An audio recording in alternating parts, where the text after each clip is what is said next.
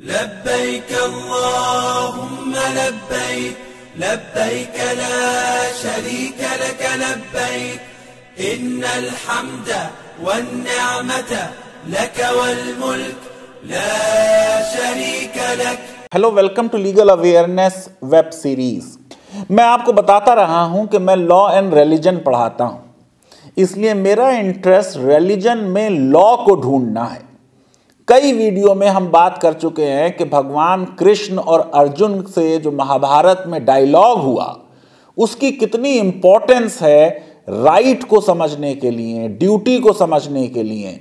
इसी तरीके से मैं हिंदू और मुस्लिम लीगल सिस्टम पढ़ाते वक्त, इस साल बहुत लेंथ में और डिटेल में मैंने जो भगवान राम और भरत के बीच डायलॉग हुआ।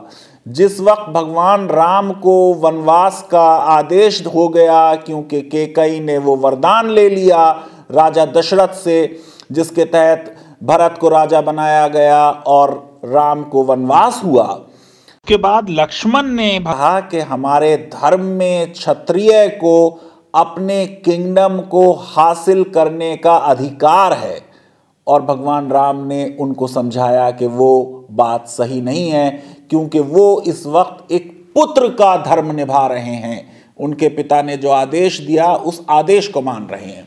हज के सिलसिले में हम ऑलरेडी एक वीडियो बना चुके हैं, जिसमें मैंने सुप्रीम कोर्ट का जजमेंट जिसमें हज सब्सिडी को खत्म करने की बात कही गई थी, उसका ज़िक्र किया था, उस वीडियो को भी आप देखिए। और मैंने खास तौर से यह बात कही थी कि ये जजमेंट जो है, ये सही है और जस्टिस काटजू का जो जजमेंट था जिसमें हज सब्सिडी को कॉन्स्टिट्यूशन माना गया था, मैंने कहा था वो सही जजमेंट नहीं है। सऊदी अरब में आज हज हुआ।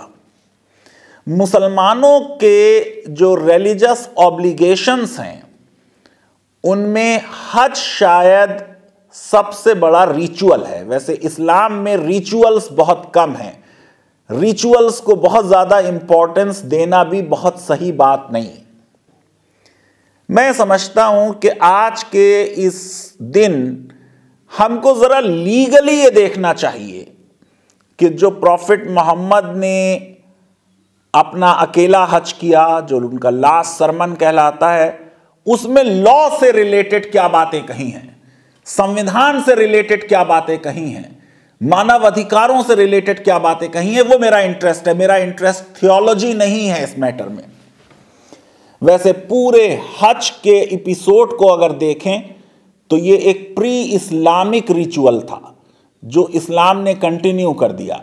और इस पूरे रिचुअल की सबसे खास बात मुझे जो लगती है, वो ये कि प्रॉफिट अब्राहम की वाइफ बीबी हाजरा अपने बेटे के पानी के लिए सफ़ा और मरवा पहाड़ पर दौड़ी। ये एक माँ की ममता थी। लेकिन हमेशा हमेशा के लिए मुसलमान मर्दों और औरतों पर यह ड्यूटी लगा दी गई कि वो उसी तरह सात बार सरफा पे जाएँ और सात बार महुआ पे जाएँ और मर्दों पर यह हुक्म हो गया कि वो तेज़ी से दौड़ें। मैं ये समझता हूँ कि ये सेलिब्रेशन है एक वेमेन की मोहब्बत अपने बच्चों के लिए और वो ड्यूटी कि कितना अहम है एक औरत का मुकाम। अब ज़रा सा समझ लें ज़रा कि इस्लाम का जब अनाउंसमेंट प्रॉफिट मोहम्मद ने किया तो इनिशियली अपोजिशन हुई। लोगों को लगा कि हज एक बहुत बड़ी बिज़नेस प्रोपोजिशन था मक्का के लोगों के लिए। तमाम जगह से लोग आते थे, दुकानें लगती थी, बाज़ार लगते थे, उसकी एक इकोनॉमिक रेलिवेंस थी। लेकिन जब हज का प्रावधान को कंटिन्यू कर दिया गया तो वो अपोजिशन बहुत हद तक कम हो गई। अब जरा सा एक बात देखिए कि ये जो प्रॉफिट मोहम्मद का सरमन हो रहा है, ये हो रहा है 632 में। और इस सरमन के तीन महीने बाद प्रॉफिट इस दुनिया से चले जाएँगे। इसलिए इसका सिग्निफिकेंस है। मक्का से मदीने जाने के आठ वर्षों के बाद मक्का का कॉन्केस्ट हो जाता है और उस कॉन्केस्ट में जंग नहीं होती। और फिर उसके दो साल बाद ये हज परफॉर्म करने प्रॉफिट मदीने से मक्का आते हैं। ज़रा सा समझने की कोशिश करेंगे कि ये जब एड्रेस शुरू करते हैं प्रॉफिट तो वो एड्रेस सिर्फ़ मुसलमानों को नहीं करते।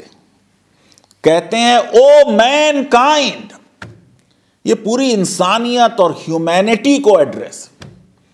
मैं समझता हूँ कि जो इग्नोरेंस हमारे यहाँ विभिन्न धर्मों के बारे में है, उससे भी बहुत गलत फहमियाँ हैं और समाज में एक दूसरे के बारे में हमने बहुत गलत कंक्लूजन्स निकाल रखे हैं। तो बात हो रही है कि ओ मैन काइंड और फिर बताया जा रहा है इस मैन काइंड को कि तुमको बनाया गया एक सिंगल पेयर एक मेल पेयर और एक फीमेल से। और तुमको डिवाइड कर दिया गया फिर नेशंस एंड ट्राइब्स में ताकि तुम एक दूसरे को पहचानो, ना कि एक दूसरे से जंग करो, एक दूसरे को बुरा भला कहो। मैं समझता हूँ कि अगर modern universal declaration of human rights देखा जाए international covenant on civil and political rights देखा जाए, उससे पहले मैग्ना कार्टा अगर देखा जाए तो उसमें इस तरह की बात हो रही थी। और आप ये समझिए कि ये कोई छोटा स्टेटमेंट नहीं था, क्योंकि इस स्टेटमेंट के बुनियाद पर समाज में जो डिस्क्रिमिनेशन है समाज में जो कुछ लोग अपने को सुपीरियर और दूसरे फेलो ह्यूमन बीइंग को इंफीरियर समझते हैं, उसकी जड़ को और उसके उसूल को काटा जा रहा है। और जब कॉन्टेक्स की बात हो तो देखिए प्री इस्लामिक अरबिया में क्या था। लड़कियों को पैदा होते ही ज़िंदा दबा दिया जाता था। वो खुद प्रॉपर्टी थी। इनहेरिटेंस लिया जाता था। बाप मर गया तो उसकी जो और बीवियाँ हैं माँ के अलावा, वो बेटों में बटती थी एज अ प्रॉपर्टी यहाँ उसको एक राइट दिया गया प्रॉपर्टी का राइट टू एब्सोल्यूट ओनरशिप जो वेस्ट में जाके कई सेंचुरीज बाद दिया जाएगा। और यहाँ तक कहा गया कि जो दो बेटियों को पाले, वो जन्नत में जाएगा। फीमेल इन्फेंटिसाइड की तो प्रॉब्लम आज के भारत में है। जो यूपी में पॉपुलेशन बिल लाया है, उसके बारे में सारे एक्सपर्ट्स कह रहे हैं कि इससे सेक्स इम्बैलेंस हो जाएगा, रेशियो बिगड़ जाएगा। जैसे ही पता चलेगा कि फीटस एक फीमेल है, उसको एबॉर्ट करा दिया जाएगा। और औरतों के बारे में जो इस सरमन में बातें कही गई हैं, वो किसी भी मुस्लिम कंट्री में फॉलो नहीं होती। हमने अपनी सारी डिबेट पर्दे के आसपास घुमाई है सारी डिबेट और बहस का मुद्दा यह कि हम कंट्रोल करें उनको। यहाँ पे सीधे सीधे बात कही जा रही है कि उनके राइट्स हैं और उनके राइट्स के लिए मर्दों को तंबी की जा रही है। कहा जा रहा है कि अल्लाह से डरो और औरतों की रेस्पेक्ट करो। उनके वेलफेयर की सोचो। ये मैं समझता हूँ कि इतना बड़ा मैसेज है कि मॉडर्न फेमिनिस्ट भी इससे इंप्रेस हो सकते। प्रॉफिट मोहम्मद से पहले एथेंस में डेमोक्रेसी थी। ग्रीक डेमोक्रेसी का बड़ा ज़िक्र है। लेकिन इस ग्रीक डेमोक्रेसी में सिर्फ़ नोबिलिटी की इलीट की चलती थी। प्रॉफिट मोहम्मद के जमाने को आज की बीसवीं, इक्कीसवीं सदी से कंपेयर करना सही नहीं होगा। उसको तो कंपेयर किया जाएगा ग्रीक से या रोमन एम्पायर से। रोमन एम्पायर में भी इलीट का डोमिनेशन था और ग्रीक डेमोक्रेसी में भी ऐसा ही था। गुलामों के लिए जगह नहीं थी। औरतों के लिए, गरीबों के लिए जगह नहीं थी। सिटीजनशिप यूनिवर्सल नहीं थी। आप देखिए कि कितनी बड़ी बात कही जा रही है। कि किसी अरब को किसी नॉन अरब पर कोई सुपीरियोरिटी नहीं। किसी नॉन अरब को किसी अरब पर सुपीरियोरिटी नहीं। किसी गोरे को किसी काले पर, किसी काले को किसी गोरे पर। मैं समझता हूँ पूरा आर्टिकल 14 और आर्टिकल 15 बता दिया गया कि कोई डिस्क्रिमिनेशन नहीं होगा in the name of religion in the name of caste in the name of sex equality of human beings की बात की जा रही। और कहा जा रहा है कि गॉड की नज़र में सबसे अच्छा वो है जो सबसे राइटियस है। यही वो राइटियसनेस है जिसके भगवान राम रिप्रेजेंट करते हैं। राइटियसनेस नमाज़ पढ़ना, रोजा रखना, दिन भर पूजा करना, दिन भर चर्च में रहना ये ठीक है, आप लोग करें। लेकिन जो एसेंस है, आपकी फेलो ह्यूमन बीइंग से कैसी रिलेशनशिप है? मुझे अफसोस के साथ कहना पड़ता है कि अगर इस सरमन को मैं एक लॉयर की हैसियत से और एक लीगल एकेडमिक की हैसियत से देखता हूँ तो मुझको यह जजमेंट मजबूरन देना पड़ रहा है कि पूरी इस्लामिक सिविलाइजेशन में कोई कंट्री इन पैमानों पर नहीं उतरता। बहुत अच्छी बातें कही गई, लेकिन इनमें से कोई बात मुसलमान नहीं मानते। उनकी रेवरेंस है प्रॉफिट के लिए, बहुत अच्छी बात है। लेकिन प्रॉफिट को मानना और प्रॉफिट की कही बातों को ना मानना यह कौन सी मोहब्बत हुई? मैं ये समझता हूँ कि इस बात को समझने की ज़रूरत है कि यह कहा जा रहा है, आप सब प्रोजनी हैं एडम और ईव की। सारे क्लेम्स जो सुपीरियोरिटी के हैं based on blood based on family pride और ट्रेडिशंस उनको कह रहे हैं, मैंने अपने पैरों के तले कुचल दिया। आपको मालूम है सेंचुरीज तक कबीलों में जंग चलती थी आपस में। इन्होंने मेरे आदमी को मार दिया तो मैं इनके आदमी को मारूँगा, फिर इन्होंने मार दिया तो उन्होंने मार दिया। डिक्लेयर किया गया कि सारे क्लेम्स आज खत्म किए जाते हैं और मैं क्लेम छोड़ता हूँ। अपने फ़र्स्ट कजिन के बारे में क्लेम को छोड़ा। मर्डर था। सन ऑफ़ रबिया बिन हरीस और कहा, सब प्री इस्लामिक इरा के जो डिस्प्यूट्स हैं ट्राइब्स में, आपस में झगड़े हैं, उनको खत्म किया जाता है। कहा गया कि murder extortion outraging the modesty of fellow being forbidden declare की गई। ये सब के सब इंडियन पीनल कोड में क्राइम है। कुरान में पहले ही डिक्लेयर हो गया था। If you kill one human being it shall be deemed you have killed the whole humanity if you save one human being it shall be deemed you have saved the whole humanity एक इंसान को मारने का मतलब है पूरी इंसानियत को मार डाला। हमारे लॉ में तो एक आदमी को मारो तो एक ही को माना जाता है। यहाँ अगर किसी ने एक को मारा तो यह माना जाएगा पूरी मानवता जाति को मार डाला। फिर कहा गया कि ट्रेड लॉफुल है। और यूजरी ये यूजरी जो है, ये इविल है, इसकी वजह से गरीबी खत्म कभी हो नहीं सकती। मैं परेशान हूँ, आपके पास आया, आपने इंटरेस्ट की इतनी बड़ा रेट कोट किया, और फिर कह दिया कि मैं पे ना करूँ। तो वो फिर मेरी फैमिली पे करेगी। और वो ना पे करे तो मैं आपका बंधुआ मजदूर बन जाऊँगा। एबॉलिश किया गया यूजरी को। पूरी इकोनॉमी जो एक्सप्लाइटेटिव इकोनॉमी है, उसकी वजह यह है कि ये जुल्म पर बेस्ड है। और ये जुल्म यूजरी से आता है all unlawful condition in a contract were declared void ये पूरा इंडियन कॉन्ट्रैक्ट एक्ट है। जब तक लॉफुल ऑब्जेक्ट नहीं होगा, तब तक कॉन्ट्रैक्ट वैलिड नहीं होगा। कॉन्ट्रैक्ट अगर पब्लिक पॉलिसी के खिलाफ होगा तो वैलिड नहीं होगा। और फिर औरतों के बारे में इतनी बड़ी बातें कह दी गई कि हम थर्ड जनरेशन ऑफ़ फेमिनिज्म के बाद भी वहाँ पहुँच नहीं पाए। इस सरमन के बाद सेंचुरीज तक हमारे सिविलाइजेशन में औरतों को राइट टू प्रॉपर्टी नहीं था। इंग्लिश लॉ का प्रिंसिपल था कॉमन लॉ का।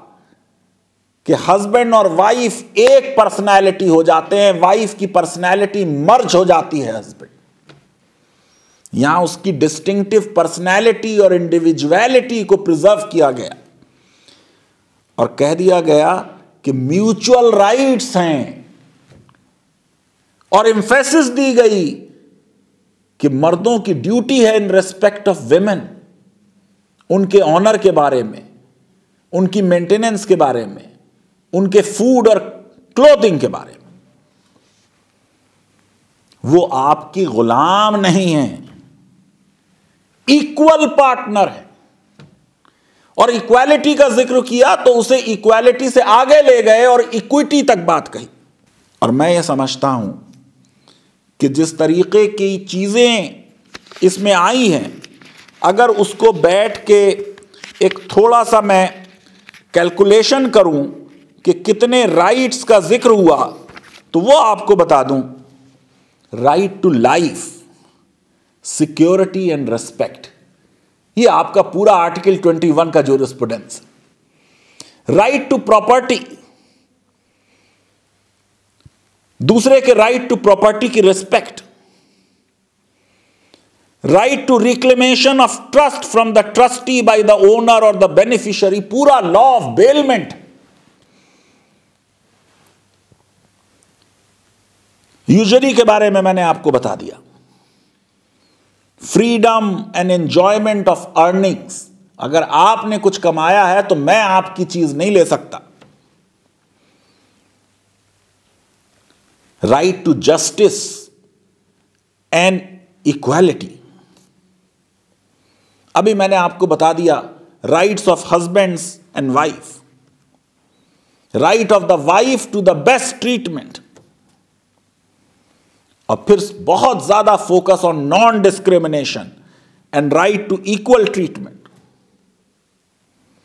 और फिर किसी की प्रॉपर्टी पे कब्जा ना किया जाए right to freedom from forceful acquisition of one's property and belongings इतना डिस्प्यूट चल रहा है लैंड एक्विजिशन से रिलेटेड क्योंकि हम बहुत औने पौने में गरीबों के लैंड ले ले रहे हैं। right to freedom of access to information, right to fair hearing, right to freedom from non personal criminal responsibility, rights of prisoners, wards, and servants, right of inheritance कहा गया वसीयत आप विल नहीं करेंगे वन थर्ड से ज्यादा right to rule of law मैं समझता हूं कि इस डॉक्यूमेंट के लीगल पहलू पे जितना काम होना चाहिए और रिसर्च होनी चाहिए, वो नहीं हुई। और आखिर में एक टीचर की तरह हमको फीडबैक लेने चाहिए। आप लोग फीडबैक में अपने कमेंट ज़रूर लीगल अवेयरनेस वेब सीरीज़ में लिखें। अगर कोई मुसलमान है और बिलीवर है तो वो ज़रूर बिलीव करता होगा कि वो प्रॉफिट थे। यकीनन मुसलमान गॉड नहीं मानते हैं प्रॉफिट को, क्योंकि गॉड वन है और वननेस ऑफ़ गॉड पे बहुत फोकस है। पूरा हज का कंसेप्ट ही जो है, उसमें प्रेज ऑफ़ गॉड है मोनोथीज्म है। सबसे कह दिया गया, एक ही तरह के कपड़े पहनो, बिना सिले हुए वाइट कपड़े। और आप देखिए, हम लोगों को एड्रेस कर रहे हैं, आज की ह्यूमैनिटी को एड्रेस किया जा रहा है। कहा जा रहा है कि जो लोग सुन रहे हैं, वो मेरी बातों को उन तक ले जाएँ जो यहाँ नहीं है। शायद वो मेरी बातों को जो सुन रहे हैं, उनसे बेहतर समझे। मैं समझता हूँ ये भी एड्रेस फ्यूचरिस्टिक है। मॉडर्न ह्यूमैनिटी के लिए रेलिवेंट है। इतना सब कुछ हो गया। लेकिन आप देखिए कि रेसिज्म आज भी बरकरार है। आज भी हिंदुस्तानियों के साथ, कालों के साथ वेस्ट में डिस्क्रिमिनेशन है। मैं समझता हूँ कि रेसिज्म पर 632 से पहले इतना बड़ा और बोल्ड और करेजियस स्टेटमेंट उसको खत्म करने के लिए मेरी नज़रों से नहीं गुजरा। और ये फीडबैक लेने के लिए ये सरमन जब खत्म हो रहा है तो प्रॉफिट ऑफ़ इस्लाम फीडबैक ले रहे हैं, क्या मैंने तुम तक सही सही मैसेज पहुँचा दिया? और वहाँ जितने लोग मौजूद थे, लोग कहते हैं वन लैख ट्वेंटी थाउज़ेंड लोग मौजूद थे, या one lakh twenty four thousand लोग मौजूद थे। उन सबने तीन बार कहा यस जो गॉड का मैसेज था, जो आपके पास ट्रस्ट था, वो आपने सही सही कम्युनिकेट कर दिया, हम गवाह हैं। और फिर आसमान में उंगली उठा के कहा कि ये एविडेंस है। गॉड को भी फिर विटनेस बनाए। मैं समझता हूँ कि मुसलमानों को और मुस्लिम कंट्रीज़ को शर्म आनी चाहिए। जिस तरीके की ह्यूमन राइट्स और जिस तरीके के लॉज और प्रिंसिपल्स बताए गए, और वो प्रिंसिपल्स सिर्फ़ यहाँ नहीं आए, वो प्रिंसिपल्स चार्टर ऑफ़ मदीना में आ चुके थे। आप सोचिए कि चार्टर ऑफ़ मदीना में प्रॉफिट जो है, जो उनका एग्रीमेंट हो रहा है और ट्राइब से, उनसे कह रहे हैं वी आर वन कम्युनिटी ये जो बात की जा रही है वन कम्युनिटी ये कितनी बड़ी बात है। आज हर एक को नॉन बिलीवर डिक्लेयर कर दिया जाए। बड़े बड़े हिस्टोरियंस ने रॉबर्ट जी हॉलैंड ने लिखा है कि authenticity of charter of Medina has been accepted by the most scholars वो डॉक्यूमेंट की जो यूनिकनेस है, वो अपने आप में मौजूद है।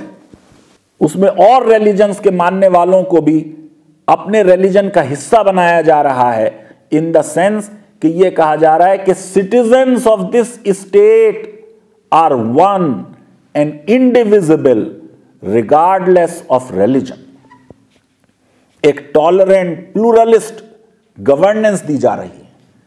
मुस्लिम कंट्रीज़ में आप देखें थ्योरोक्रेसी का एक्सक्लूजन का क्या मॉडल है? माइनॉरिटीज के राइट्स किस तरीके से वॉयलेट हो रहे हैं? मैं ये समझता हूँ कि जिस तरीके से ये डेविएशन हुआ है उन प्रिंसिपल से, उसकी वजह से मुस्लिम सिविलाइजेशन का डिक्लाइन हुआ है। आज मॉडर्न जमाने में हमको यकीनन अपने कॉन्स्टिट्यूशन की तरफ़ लौटना है। और किसी भी देश का जो कॉन्स्टिट्यूशन होता है, वो पूरी एक विजडम का रिफ्लेक्शन होता है।